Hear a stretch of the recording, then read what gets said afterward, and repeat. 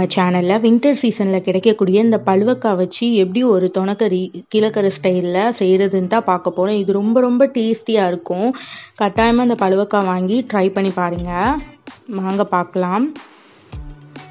பழுவக்காவை இந்த மாதிரி சின்ன சின்ன பீஸாக கட் பண்ணி எடுத்துக்கோங்க.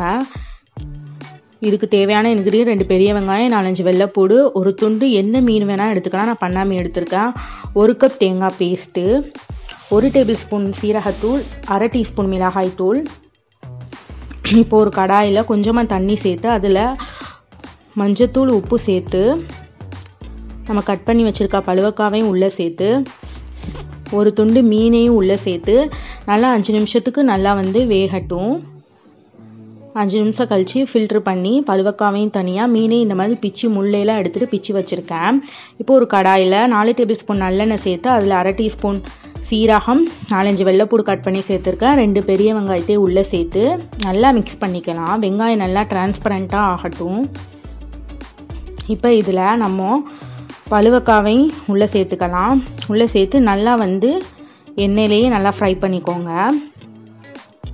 இப்போ இதில் ஒரு டேபிள் ஸ்பூன் சீரகத்தூள் அரை டீஸ்பூன் மிளகாய் தூள் சேர்த்து நல்லா வந்து மசாலாவோட பச்சை வாடை போகிற அளவுக்கு மிக்ஸ் பண்ணிக்கலாம்.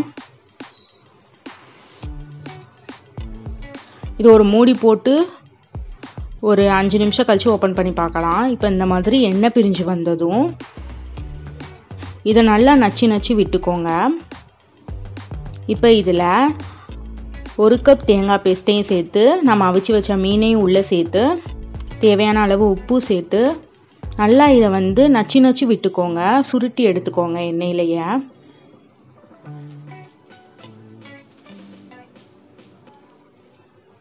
நல்லா இந்த மாதிரி நச்சு நச்சு விட்டுக்கோங்க.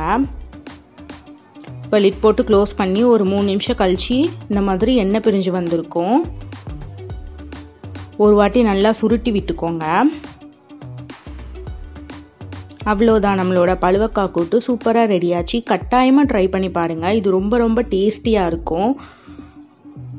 பிடிச்சிருந்தா நம்ம வைபின் கிச்சனை சப்ஸ்கிரைப் பண்ணிக்கோங்க. தேங்க்யூ